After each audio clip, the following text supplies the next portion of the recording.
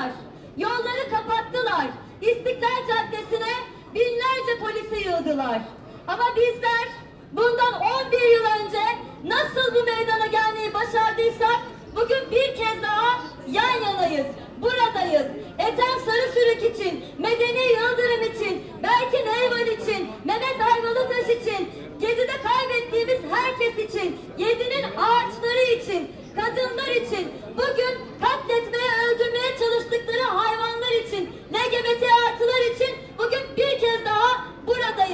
Gezi'nin yıl dönümünde 11 yıldır bir an olsun unutmadık, affetmedik. Sorumlular yargılanana kadar. Gezi'de, Gezi'de kaybettiğimiz herkesin sorumluları yargılanana kadar bu hesap kapanmaz, bu mücadele bitmez. Ahmet Atakan. Burada. Ali İsmail Korkmaz. Burada. Berkin Elvan. Burada. Ethem Sarısülük. Burada. Hasan Ferit Gedik. Burada. Medeni Yıldırım. Burada. Mehmet Ayvalıtaş. Burada. Gezi'de dövüşene düşene bin selam.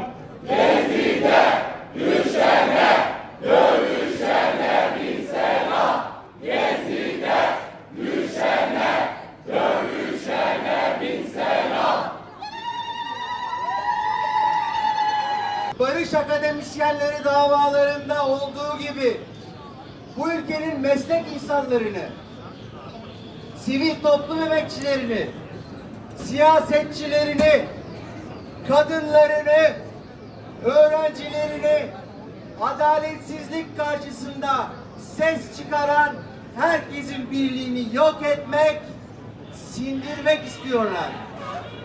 Tıpkı Gezi'de rengarenk bir anlayışla ortaya çıkan toplumsal refleksi